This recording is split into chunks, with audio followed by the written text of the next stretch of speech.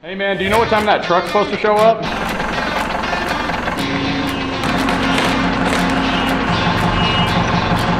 Shop looks completely different. It's pretty crazy to see all this come in. So we just had the truck show up around 10 o'clock today. Uh, two hours, we got all four of these machines, all the extra pallets unloaded, went perfectly smooth. Uh, a little rainy today, but everything's dry. Um, right now we're gonna clean the floors up, get the machines unwrapped and unpackaged, throw all that stuff away, and then start shipping them into their final positions. You know, work here, have it be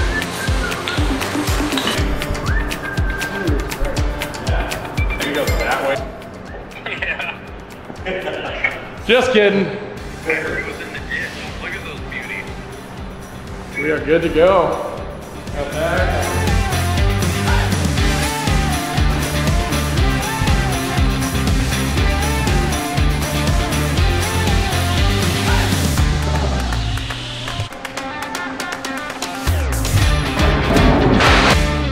All right, we just got here to New Mexico. It's gorgeous weather. Uh, we got the bearded butchers here, Scott and Seth Perkins. Uh, we're getting ready for an elk hunt this week. Uh, the weather is absolutely epic. We were here last week with my wife. It was frigid, blowing, cold, miserable.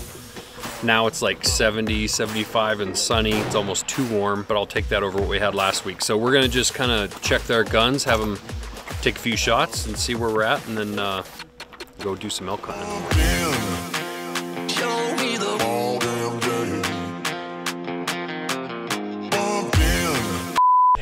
Hey Josh, there's plenty of chairs right here.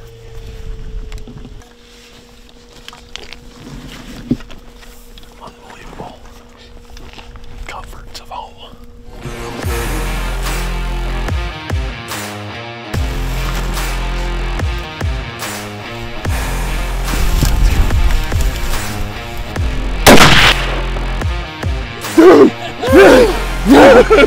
Never give up, baby. Never give up.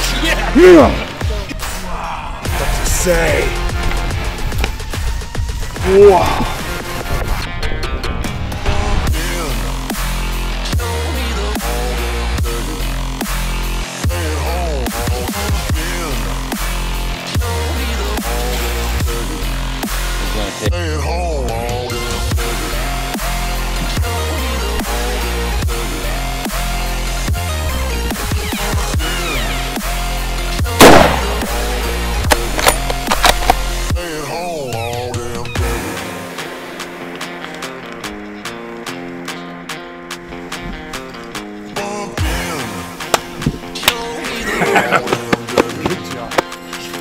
Got him.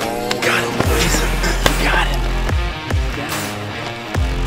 This warrior, look at him. Look at that. Can you believe that? Thank you. Can you say that in front of my brother? One shot. Me. It's from putting up with Seth. I want to point out how the beard color matches the elk. So.